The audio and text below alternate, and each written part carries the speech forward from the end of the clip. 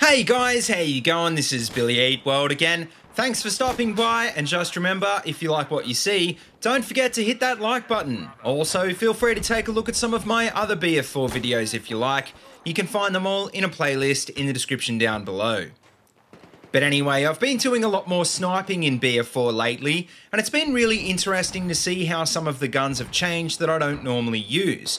And I've been thinking a lot about what the best sniper setup is in BF4, which is a question that I think I've changed my mind on a few times over the last few years. To begin with, though, I think there's no question that the 93R is the best pistol for a sniper setup, but when it comes to the bolt actions, I think there's more of a debate. And ultimately, I think it's largely going to come down to personal preference, so I completely understand if you don't agree with me on any of this for whatever reason.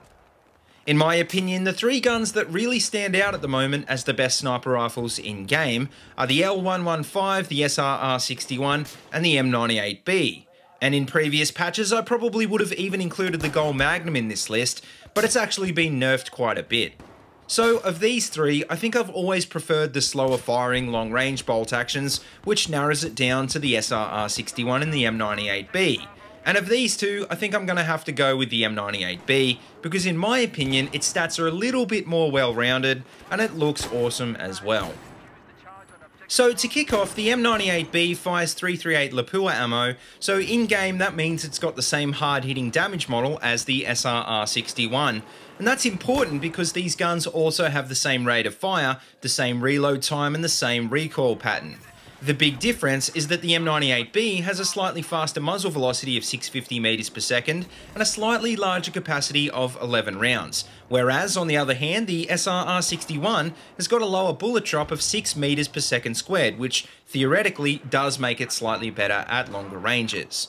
The thing is though, unless you're sniping at 500 meters or more, the difference in bullet drop isn't gonna really make a big difference.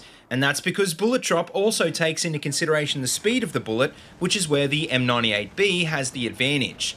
So the way I look at it, if you're going to be sniping at less than 200 meters, then there's really no point sacrificing the extra capacity and velocity, because the M98B really isn't that much worse than the SRR61 at long range anyway, so all in all, I'd say it's probably the better all-round sniper rifle.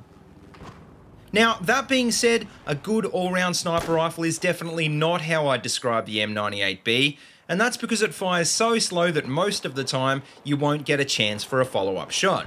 In fact, a lot of the time, if you do hit a target in the body, you'll need to switch over to your sidearm to finish them off, which is where the 93R comes in because it's super effective at peppering targets to do that final bit of damage.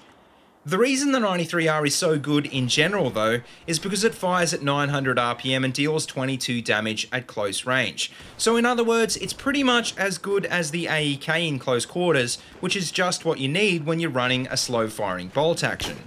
A lot of players prefer the G18 instead, but the big difference, I think, is that the 93R has better recoil and it fires in burst fire mode, which I've always thought makes it slightly more accurate, and is also probably why I've always preferred the feel of the 93R over the G18. Now, apart from the weapons, as for the rest of the loadout, well, of course, I'm running the PLD, which is the number one essential tool in any sniper's kit. And admittedly, it's not as effective as it once was, but it's still good to highlight scope glint and it's a great way to range find targets. As for my other gadget, well, as you can see, I'm running with the T-UGS, which I think is a great gadget for any defensive sniper playstyle. But with that being said, if you're more of an aggressive player, you might want to switch this out for something else, like the C4 or the motion balls. As for grenades, well I think smokes are probably the best for any sniper class because you can use them to cover your retreat. Also, you can use them to create temporary concealment if you need to expose yourself to take out a target, or if you want to distract the enemy. And last but not least, as you can see, I'm also running the sniper perk, which I think makes a really big difference, especially with a slow firing gun like the M98B. Because even on tier 1, it reduces scope sway, which can really screw up your aim when you're trying to go for those all important headshots. But anyway, to finish up, like I said, you might have a completely different opinion on the best sniper setup, which is completely fine. And like I also said, that's probably got a lot to do with personal preference, and most importantly, how you like to play the game. For example, the M98B is a gun that you want to be consistently hitting headshots with, whereas a gun like the M40 allows you to be a bit more careless. So that's why I think a lot of players prefer a gun like the L115, which is pretty much like the logical middle ground between these two. So I guess if you're not a great sniper to begin with, don't expect to love the M98B straight away, because it won't hold your hand. Learn how bullet drop works and learn how to lead your target first, and then when you come back to this one, you'll see why I think it's so good. As for the rest of this setup though, well if you're not already using the 93R and the rest of these gadgets, then you really should be. And that's because I think they work well with any bolt action. But once again, if you've got a different opinion, then feel free to let me know. But anyway guys, that just about wraps up this video, so let me know what you think in the comments section below, and as always, if you like what you see, don't forget to like, comment, and subscribe. Also, check out the links in the description below if you want to see any more of my videos, or if you want to support my channel on Patreon, and until next time, see you later, and have a good one.